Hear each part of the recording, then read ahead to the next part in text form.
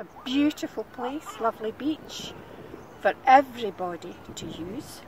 Come from near and far. Love to see that being in use. Just take your rubbish away. Easy to do. Plenty receptacles round about for it to be put in. It's not hard to do. And then you'll be left with this beautiful beach and not the mess we saw further along people coming on a picnic from different areas.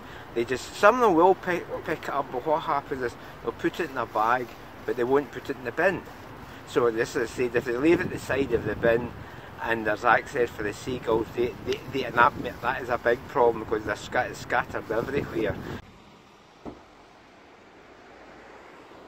Holiday periods and obviously when the weather's good as well, uh, attracts a lot of visitors. It can be particularly challenging at uh, really busy times because the bins can sometimes fill up pretty quickly and obviously we only have limited resources uh, so we try and get them as, as quickly as uh, we can.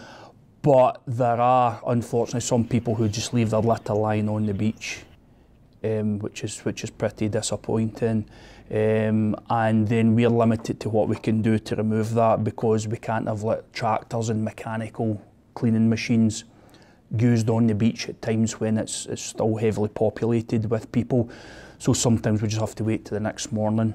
I don't think there's any one solution to it. It's just an awareness of, for people, um, making sure that they tied up after sale, and obviously in the council's part, making sure we've got proper and appropriate provision of uh, litter bins for them to deposit their waste in when they're, when they're leaving the beach.